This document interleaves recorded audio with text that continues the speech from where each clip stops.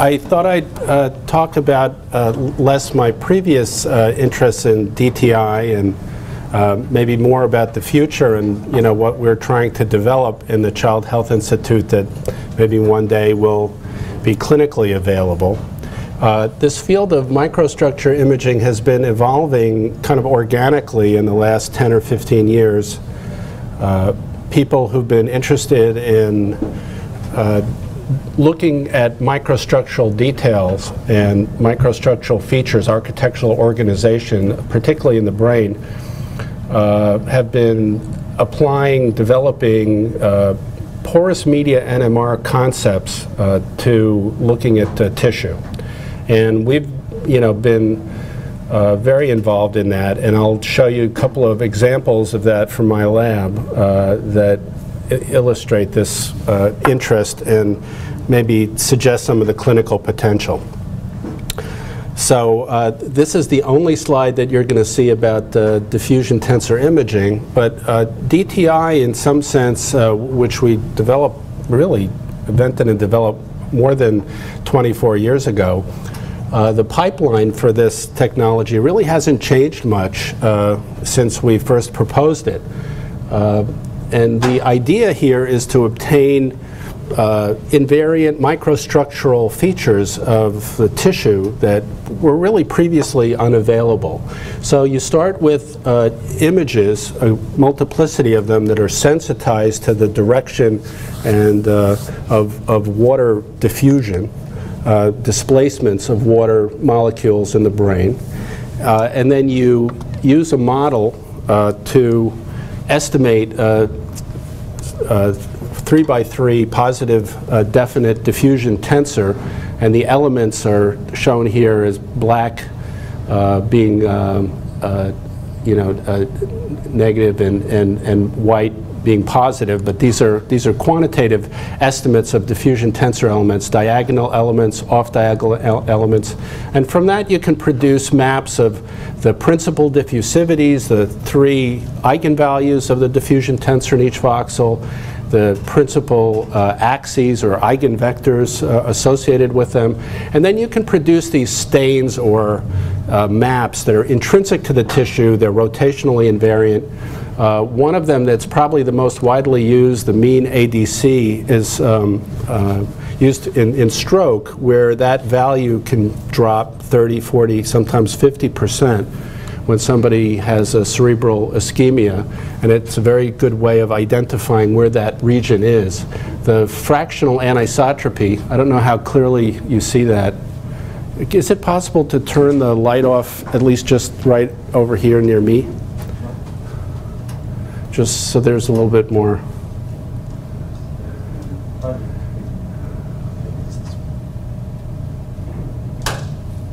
Okay. So this, this uh, fractional anisotropy map indicates the amount of prolateness uh, or oblateness of the diffusion ellipsoid and is a very good indicator of where white matter in the brain can be found, which, which is uh, in which diffusion is highly anisotropic as opposed to gray matter or the cerebral spinal fluid which uh, exhibit isotropic diffusion. This DEC map is something my colleague Carlo Pierpaoli and Sinisa Pajevic developed that colors the FA according to the direction or orientation that the fibers run. So in this case, red, red indicates left-right, and you know, uh, yellow or green uh, indicates up-down. Uh, you can also obtain diffusion ellipsoids in each voxel, and uh, if you follow the direction of maximum diffusivity, like uh, you would in fluid mechanics follow uh, the velocity distribution, you can get um, these streamlined representations of fiber pathways, and this is being used a lot uh, to uh, establish the anatomical basis of functional connectivity you know, in the brain. But a problem that we've been focusing on for a number of years has been to take these uh, sort of featureless diffusion weighted images that are obtained at about uh, one millimeter by one millimeter by one millimeter voxel size and to see if we can drill down into the voxel and obtain microstructural information that a neuroanatomist or a neuropathologist would want to know. So for instance, uh, myelin thickness, axon diameter, axon diameter distribution, cell size, cell orientation, um, you know, extracellular fraction. So one possible way of doing this is to just continue to increase the magnetic field strength and to try to make your voxels smaller and smaller. We know that at about a million dollars a Tesla, that uh, is a difficult proposition and an expensive one. And uh, uh, I think a cleverer approach is to use a multiplicity of these low resolution MRI uh, data that's obtained with diffusion weighting and to use models and methods that from mathematical physics to try to infer some of the microstructural features of, of the tissue, the morphology, architecture, organization. And these are, you know, the candidate um, quantities that we're trying to estimate or measure. Cell size, cell size distribution, extracellular matrix fraction. These are the kinds of things that a neuropathologist might look at, for instance, in making a determination or grading, staging cancers. Uh, so the way that diffusion-weighted imaging works is that you take a conventional spin echo, Hahn spin echo, with a 90-degree RF pulse followed by a 180-degree RF pulse, and you add to it uh, two uh, gradients that sensitize this uh, signal to the net displacement of uh, the spin labeled species that you're tracking. So if you, and, and a quantity that we very often like to use that was, I think it was introduced by Callaghan, but it may have been introduced by others, is, is Q. This is the degree of diffusion weighting. This tells you uh, the, the, essentially the length scale over which you're probing the displacements. So if you're a spin, a water molecule, uh, you, uh, uh you get a phase shift with the addition of the first gradient. Uh, if you're a stationary spin, this 180 degree pulse will just flip this phase, negate it, and then the, the application of the next uh, gradient pulse will bring the phase back to the original position and the signal will not have changed. All the phases will have been refocused, they'll all be coincident, and there won't be any reduction in the overall signal. But a, a a spin that's moving during the course of the experiment will experience a different phase history. So it'll start with the 90 degree pulse. It will uh, obtain a phase shift because of this gradient pulse. Uh, that phase shift will be negated by the 180 but when the next gradient pulse is applied, it won't completely offset or cancel the, the application of the first pulse, and there'll be a phase offset. And when you have billions and billions of these uh, spins in, in the control volume or the voxel, the signal attenuation will be given by the sum of the phases, essentially, a vector sum. So what will happen is that, let's see if I can see if this thing actually gets, gets smaller. I think that, no, anyway. And so what happens is, as the, as the phase distribution is broad, the signal will continually get smaller and smaller. Uh, so this is really how diffusion weighting works. Uh, so what we're trying to do is, is use diffusion weighting to probe dimensions within the voxel that are much smaller than the voxel size. We said the voxel size was about one millimeter cubed water diffuses about five um, microns in the order of about a, a 50 millisecond you know, experiment.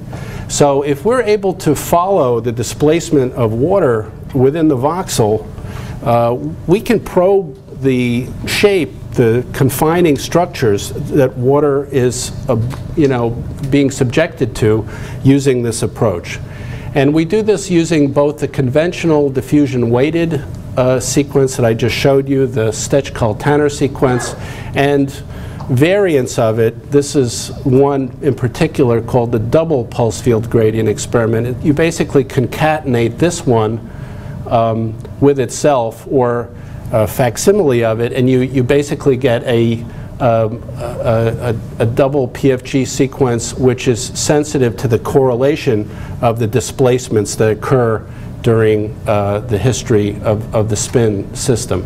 So, and I would say in the last 10 years, uh, we've developed mathematical and physical frameworks to be able to really look at these cell shape, cell size, cell size distribution, uh, even you know cell orientation, not just DTI, but other models have been developed to look at, at orientation of, of um, particularly of white matter structures. So the first uh, microstructural imaging method that I'm going to discuss is based on re really early work from uh, Stejskal. Uh, he proposed this relationship between the signal attenuation that we measure, the echo that we saw in the previous experiment and this uh, displacement distribution. This is the probability that a spin goes from uh, you know, position R0 to R in a diffusion time capital delta. Uh, and uh, this is a Fourier transform relationship between this and that. And this is very powerful because this isn't really model dependent. We're not saying what diffusion process we're observing. We're just saying that if we measure this uh, under a variety of conditions at different values of, of g and uh, with gradients uh, applied along different directions, we can uh, estimate this quantity here by an inverse 3D Fourier transform. Now, uh, Paul Callaghan combined this nuclear magnetic resonance methodology with MRI with his um, colleagues uh, back at, in, in Massey University back in 1988. This is not a well-cited paper, but it really represents a foundational development in our field. What, what he did is he took the, um, the diffusion experiment of Stejskal and Tanner and embedded it into an MRI experiment where he would be able to make this measurement on a voxel by voxel basis. Uh, now, why am I interested in this? Well, I view this kind of average propagator imaging as one of the holy grails of MRI, of diffusion MRI. So one thing, it's model free. We're not assuming Gaussian diffusion or a particular type of parametric distribution. It turns out that I showed back, you know, about 13 years ago that, uh, that this average propagator imaging subsumes DTI. So if you're able to measure the average propagator, you get DTI for free. Uh, it yields new features. Uh, an orientational distribution. This is uh, something that Wedeen had proposed originally. Uh, moments of the PDF, so means, variances, skewnesses, kurtosis, those kinds of imaging techniques are becoming more prevalent now. And it also allows you to, to get more of these stains like the FA and the and the average diffusivity that I showed earlier. You can look at time-dependent diffusion with this approach by varying the diffusion time and you can get information about pore size, shape, orientation from this approach. And then if you're looking at these distributions in each voxel, you can start to use this from an image processing perspective to segment, classify, cluster different tissues, differentiating, let's say, healthy from affected, or uh, cerebrospinal fluid from gray matter, from white matter uh, and, and can aid you in, in registration and atlasing applications. Now, one of the problems with Callaghan's approach and D DSI, the approach that was proposed uh, uh, by, by Wedeen at the Martino Center, is that it's a brute force three-dimensional FFT relating the displacement distribution to the signal attenuation.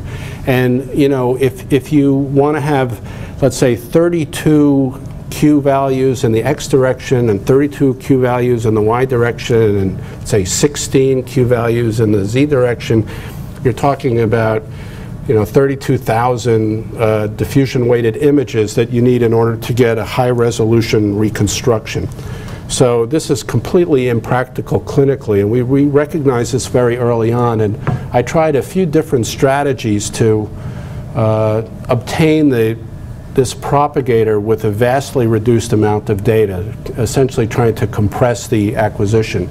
But Evren Özarslan really, I think, uh, created a, a, very powerful framework for doing this, um, which, which we now call MAP, or Mean Apparent Propagator MRI. So what he did is he, he started uh, from the, the Hamilton, you know, Hamiltonian, the description of the simple harmonic oscillator in quantum mechanics, and looked at the form of the Hermite functions that are used to describe the, the wave function uh, of the, um, uh, of this, the solution. And these have very beautiful properties that are well suited for this kind of reconstruction. And an ansatz that he made was that uh, the signal that we measure in the NMR experiment uh, could be written as a linear combination of these uh, Hermite functions. Now the Hermite functions are complete orthogonal basis. Uh, the first term is a Gaussian, which is what we always find in uh, these experiments. So it, it, it, behaves properly in, in the limiting was ignore that, okay.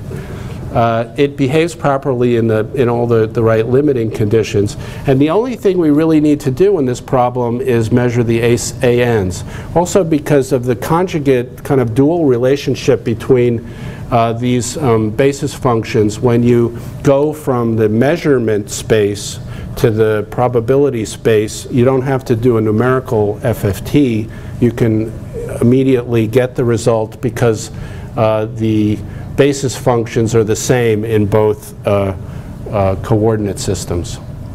So what does this produce? Well, uh, this is an experiment that, that was done, a map experiment that was done in uh, monkey brain. Uh, this is the conventional DTI that I said that you get for free. You get the signal intensity, the color mapping, the fractional anisotropy that shows you where the white matter is, the mean diffusivity. You can get parallel and perpendicular diffusivities, lambda parallel and lambda perpendicular. But you also get these new stains that are informative. The RTOP, the return to origin probability, we can show is a, is a measure 1 over the pore volume. So if water is trapped in cells, let's say axons in the intra-axonal space, we can use this to, to make an estimate or measurement of the size of that pore. Uh, this NG quantity is the non-Gaussianity. This is the power in the probability distribution that isn't described by the Gaussian DTI model.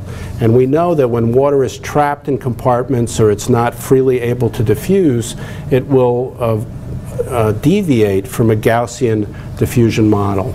And this propagator anisotropy is a more general form of the FA. So it, it takes into account the anisotropic part of the propagator beyond what the DTI uh, anisotropy measures. Uh, so this is... Is there any displacement due to the magnetic field? I mean, I know water is completely magnetic. At, at, the micron resolution you're talking about, you have movements of the water just from the external magnetic field? In the magnetic field? Right. Uh, well, we're not aware that, that the magnetic field is, is producing any changes in water motion.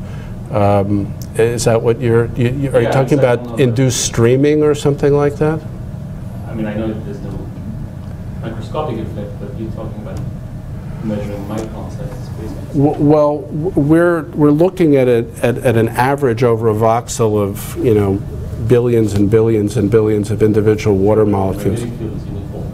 It is. Was any kind of displacement by micron for all the voxels? So, so I'm not aware of, and maybe maybe somebody can correct me. I'm not aware of any kind of bulk flow or um, kind of uh, tissue-based uh, streaming or flow that's induced or produced by the application of a constant magnetic field, or even with water not being, you know, charged, that even gradients or you know induced electric fields might produce, but um, I don't know, has, has, somebody looked into that? Does, there, I, I mean, I'm not aware of any evidence for that, some kind of streaming that's induced by the application of a static magnetic field. Uh, This is uh, the drawing by Ramón y Cajal of the, of the hippocampus of a human, and this is um, a representation of the same structure that was excised from a human. Um, It's a little bit maybe because of the re resolution of the, of the projector, but you can see at least with these insets, different parts of the hippocampus are known to have very different structures. They have, there's a very well-defined layered structure. There are nuclei. There are areas where there's well-defined white matter. Here you have these uh, mean displacement profiles that, that show a uniform direction. They're very skinny and they look you know, well-defined. These are white matter areas, and then there are complex areas where there are mossy fibers and very complex microstructure. So you can see that the, this kind of displacement map is starting to recapitulate some of the microstructure that we know from, uh, you know, even from the Ra Ramón y Cajal uh, drawings that, that were done. Are these in your public, in your paper you just referenced? Um, you know, I don't know whether whether this this was in the the macaque paper. I don't. I, I think this was this is maybe internal. Okay. This was done with um, Tim Shepherd from uh, NYU. At that time, it was Florida State University. So Evren uh, looked at fiber crossing areas in the marmoset brain. Um, this was a model system that we had good access to uh, in, in our lab uh, in association with uh, um, Afonso Silva and NINDS. And these are areas, known areas of crossing fibers. Uh, I think the corona radiata um, and internal capsule, you can see very well defined um, kind of stick-like projections, and then you can see areas where these, there clearly are two sticks. These are indicative of crossing fibers in complex white matter areas. Uh, one of the questions that you have to ask, since we're in a, at the NIH and we're, we're developing methods that eventually can be used clinically, is whether these kind of acquisitions are consistent with ever being used on a clinical magnet. So Evren considered uh, a vastly reduced experimental design where he not only uh, reduce the gradients that were being applied to those that were achievable on clinical systems, but 55 data points from the almost 500 um, would allow a sequence like this to be applied you know, in about 10 minutes. And he showed that some of these new stains, the, the propagator anisotropy, the non-Gaussianity, the return to origin probability, were not too far off from what we had obtained with a higher quality data acquisition. So the, this already suggested um, back a few years ago that this was clinically viable. And recently in my group, Alexandru Avram has actually done a clinical implementation of this um, on a GE 750 in about uh, 10 or 12 minutes, showing all of the map parameters, the return to origin probability and the return to axis probability, the fractional anisotropy, propagator anisotropy, the color map that we get from DTI, the non-Gaussianity. So we're, we're in a position now where we can really translate this, where we can apply it first with normal subjects and eventually to see if we can identify changes that occur during development, aging, degeneration, traumatic brain injury. These give us a, a larger panel of stains that we can use to look for changes that may occur. Um, and this, this is a, you know, an, a display of some of these orientation distribution functions, these mean squared displacement distributions that tell you uh, whether they're, they suggest whether they're crossing fibers or multiple fiber populations. Um, in DTI, you don't see that, but in, in, these, um, in these model-free approaches, you, you can. Question? So um, this is not directly related to clinical feasibility, but has to do with uh, these remapping studies. So how consistent is it if you just go a year later, a month later, like get a patient? How consistent are the maps? Well, we, we've, with, with others, we haven't published this yet, but uh, we've acquired a, a very extensive data set. They call this test retest, where you basically take the same subject and you scan them over and over and over again. Uh, and the reproducibility is very high. I mean, with the following caveats, you can't always position the person exactly in the same place, and um, there may be some movement during the study. But if you take all the data and you warp it to a common template, um, and then you essentially analyze the data in aggregate, um, you get extremely high quality results. So, and you can also look at the variation of, of all of the different parameters over uh, for, you know, for each experiment, and you can see what the, um, even what the biological and what the uh, instrument, instrumental variabilities are.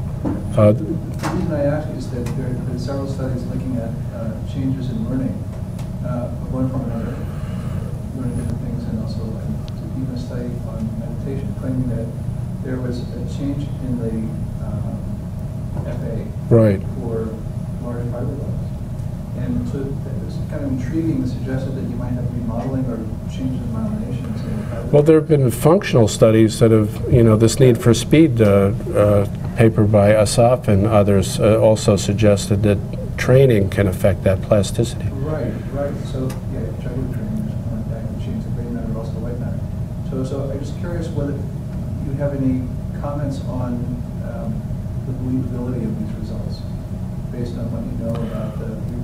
Well, th- this is the reproducibility of another technique that they're not using. I mean, they're, they're not using MAP MRI. Um, and, you know, they're also not doing all the corrections that we're doing to try to, you know, get rid of all of the artifacts, uh, eddy current, susceptibility, EPI distortion, and all the other things that we know are there. So I, I can't talk about other people's data and the amount of reproducibility there, there is, but it's, it tends to be very high in the way we're doing the DTI and the MAP now because we're controlling for all of those uh, systematic artifacts that creep into the analysis. So people's brains, you know, normal brains aren't changing that much from scan to scan. Uh, Here, here, uh, example of the, uh, of an ODF, uh, orientation distribution uh, function, and these areas that are bright here are areas where there's high fractional anisotropy. You can see some of these stick figures suggesting, suggestive of white matter pathways that are fairly coherent, and then you can see these gray matter-like areas where there are, you know, multiple crossings um, you know, and, and a very kind of complex microarchitecture.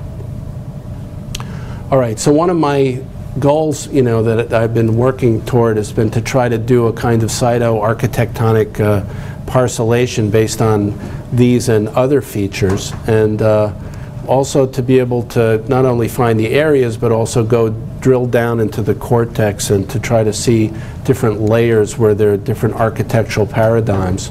And we've made a little progress in that direction. We're starting to, and this is macaque brain, you can start to see, um, you know, when you move along the cortex, here's subcortical white matter. It's very clear, clean and clear. You see the, uh, you know, kind of single, almost toothpick-like orientation distributions here. And then you see, you know, cortical layers. We have about four or five or six of these uh, displacement distributions that are visualized here. And you can see that in different parts of the cortex you have different kinds of shapes, and we're you know, trying to figure out ways to use these different dis- distributions to cluster and, and segment uh, different cortical areas. Um, Here's a, another kind of higher resolution representation. You can see these white areas are subcortical white matter. These are U fibers. And you can see, you know, significant differences qualitatively, just by eye, uh, of these displacement distributions in different cortical areas. Now, there are some limitations of the average propagator. Um, one of them is that uh, you can't use it to look at what's called local anisotropy. Um, when you have little sticks, molecules, microtubules, tubes that are randomly oriented, individually those structures are anisotropic, but in a whole volume or voxel, because of their random orientation, uh, that anisotropy gets averaged out. And this methodology doesn't drill down deep enough to be able to see that microscopic anisotropy. Um, it's also not that well suited for looking at exchange and looking at even at multiple compartments that might be within the same voxel.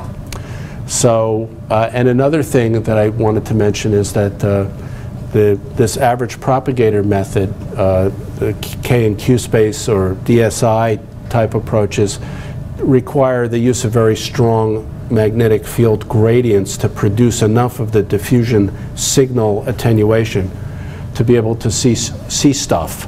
So this is what I was referring to before. When you have uh, an MRI pixel that contains a lot of uh, dendritic arborization and fibers and things uh, that are individually uh, anisotropic, these get averaged up and they, they produce an isotropic or uniform uh, distribution uh, at the voxel level.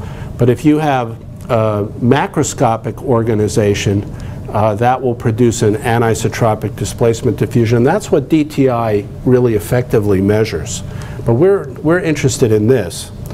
So we, we constructed a, a, um, a a gray matter phantom that consisted of, you know, to begin with, a bunch of randomly oriented glass uh, tubes filled with uh, dichlorobenzene and um, or with water in a dichlorobenzene solution. And we uh, were able to you know using approaches that were developed actually originally in Paul Callaghan's lab we were able to use this double pulse field gradient experiment to show that there was a, a difference between the signal attenuations uh, along the um, parallel axes x, y, and z and, uh, and along the orthogonal axes x, y, x, z, uh, y, z, which is a kind of a hallmark or signature of this microscopic anisotropy.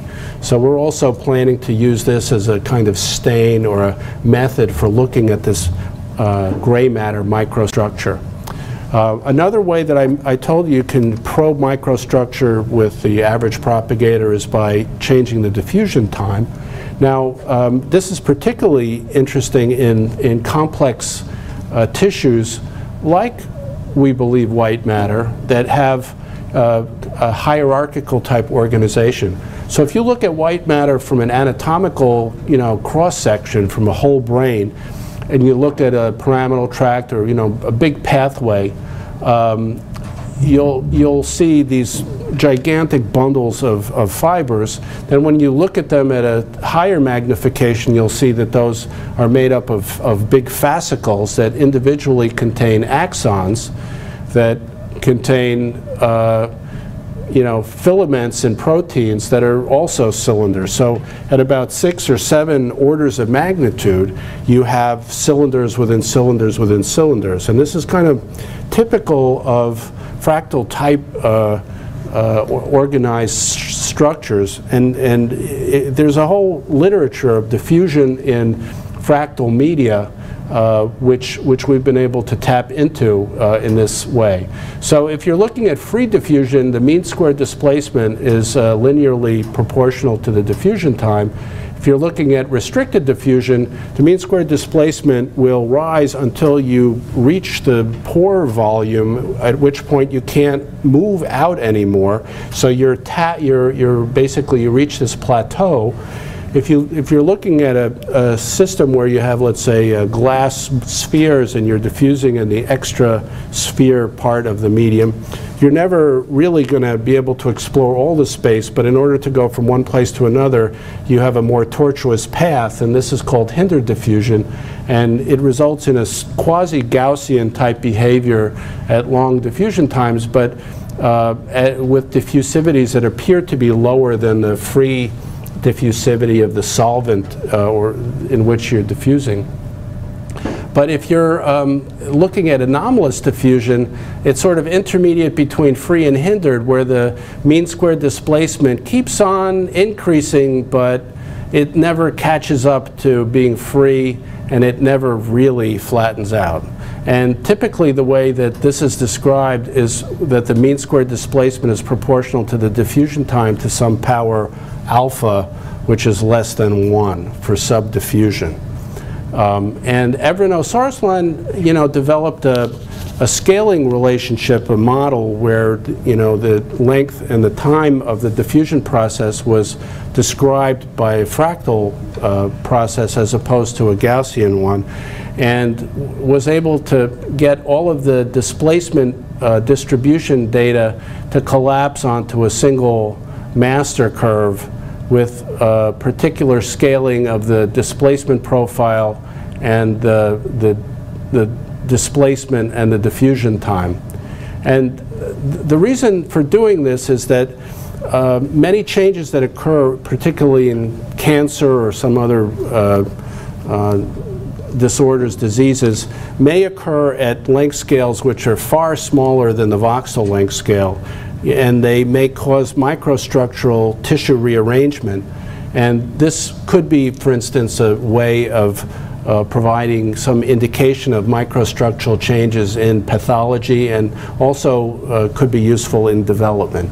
And you can see when this is applied in rat hippocampal tissue, this is from a neuroimaging paper that we wrote, um, that some of these quantities like the fractal dimension that you can extract from these models uh, provide kind of new stains, if you will, for microstructural architectural organization, morphological organization of the tissue, which could potentially be used with the other ones that we've been developing as well. So um, another area that we've been working on is, is looking at, at axonal structure, axon diameter measurements and diameter distribution measurements. Um, this is work that uh, we started with uh, Yaniv Assaf, who's uh, now professor at Tel Aviv University. He was um, a postdoc of mine before that. Um, and it's based on some important findings that are quite old and classical in neurophysiology. This is uh, Ichiji Tasaki and his wife Nobuko. They used to work in my lab uh, when they were senior citizens. Uh, they both passed away, but uh, one of the many important contributions um, they made was uh, to show that there's a, uh, a, linear relationship between the conduction velocity of uh, axons and the, the, their diameter. So this is a, a, very interesting scaling relationship. It's one of several well-known kind of classical neurophysiological scaling relationships that um, you know you can find. It's almost textbook knowledge now. Um, work from Hirsch uh, showed uh, as well that um, axons don't come all in one size, but you can always find the diameter distribution in peripheral nervous system, and later Aboitiz and others showed it in the central nervous system. So uh, there's a, you know, an obvious question: why, why do nerves, uh, why do axons, uh, you know, have different diameters? Uh, you know, presumably, you know, you'd want there'd be some optimal where, where there'd be a certain diameter and a certain um, uh, speed and you know, you'd be able to maximize the information. Well, that's not quite how it works. Uh, and in fact, we proposed uh, uh two years ago uh, a, uh, a, optimal principle where we actually solve for the optimal diameter distribution with the idea that we're trying to maximize the information uh, transfer transport along a bundle of axons fixing the number or fixing the total cross-sectional area. So this is a kind of a Lagrangian optimization problem uh, and it produces these heavy tail distributions and if you're interested in, in this you can read about it in, in, this, in this paper but um, one expects based on optimal information transport that you would not have all axons having all the same diameters. So the axon diameter distribution is a, an important neurophysiological property that will tell you something about how quickly information is transported from one part of the brain to another or from the brain to muscles uh, in, and organs in other parts of the body. Um, the idea for doing this really came about by looking at some of the early classical ex experiments in the NMR and porous media field one in particular by Ken Packer. Uh, you know, these are people who were hired by the food industry to look at uh, emulsions, olive oil, cheese, uh, cottage cheese, and all kinds of uh, different, uh, you know, uh, types of, of droplet sizing experiments. And uh, th there was a NMR methodology for, for sizing spherical droplets. And I guess the, the key idea that, that I had was that axons can be viewed as a cylindrical emulsion. If you look at them at the right orientation, they have the same properties as a spherical emulsion with a slightly different mathematical pipeline for analyzing them. You can go in and use NMR methods to size the distribution of, this, uh, of, of axons in a pack. And fast forward, uh, Yaniv and, and uh, Daniel Barazany and colleagues in, at Tel Aviv University uh, developed uh, you know, the software and did experiments with uh, live rat brain after doing fairly extensive histological work with uh, sciatic nerve uh, with us at, at NIH. Um, and showed that the corpus callosum had a very distinctive pattern of diameters of fibers. Uh, these 1, 2, 3, 4, 5 correspond to these insets here, 1, 2, 3, 4, 5, where there's a kind of a narrow distribution at both ends of the corpus callosum and a broadening of the distribution in the, in the middle, which is kind of recapitulated by these histological slices. And this down here, th these are the histological data that was analyzed, you know, using J image or image J uh, you know, uh, so there's fairly good correspondence between these distributions. This one is done non-invasively and in vivo. This is done histologically on excised tissue specimen that's prepared. So um, there are other ways in which we can look at average axon diameter. I think I'm running a little short of time, so, um, but I, I did want to show you that we're, hold on.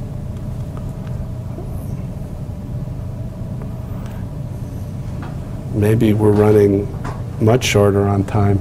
My computer's showing me a spinning wheel now. Um, so uh, another approach that we've been using has been this double PFG or multiple PFG experimental methodology where we can, using smaller gradients with fewer experiments, we can try to back off some of the same information, diameter, diameter distribution, and um, your concern on gradients is because of the clinical relevance that it's, it's hard to make a very strong gradient. Right. So, so these kinds of uh, experiments could be done on, you know, existing clinical scanners based on the gradient configurations that are currently available. You have to, you know, write slightly different sequences, but we've already shown uh, Alexandru Avram has shown that we can apply these multiple PFG sequences in vivo. And, um, you know, I'm sorry, but I, I don't think I can advance this right now. Restart. You know, I, I could. It's just spinning. This is that uh, terrifying spinning wheel that everybody is worried about seeing. Um, but if, if I can't get through this, um, this I can kind of summarize and, and uh, let you uh, let you ask questions.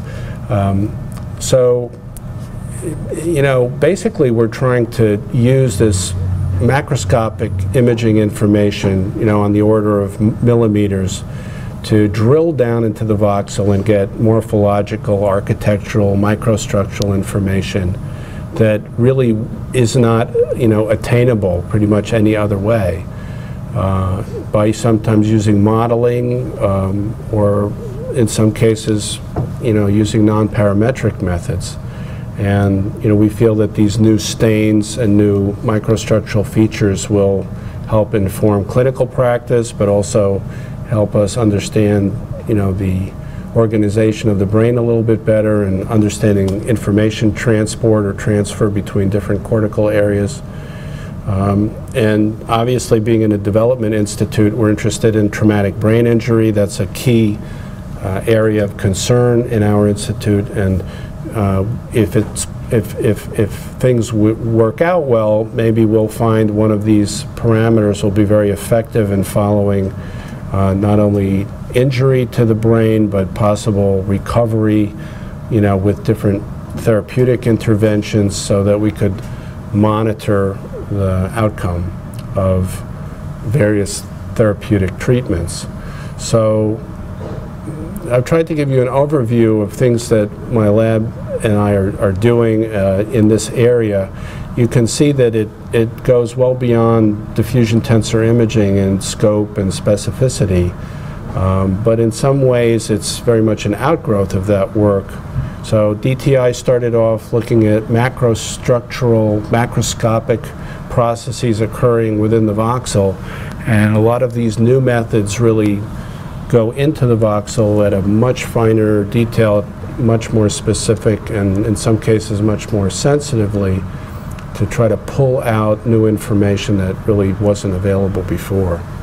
So my, my, you know, my wheel is still spinning, so I'm sorry I, I can't show you my last slide. There are a lot of people who were involved in this work. I can list them, I know them. Uh, Carlo Pierpaoli and uh, uh, Alexandru Avram, Evren Özarslan, Mickey Komlosh, uh, Dan Benyamini, uh, have uh, Beth Hutchinson, and there are a number of other, other collaborators too.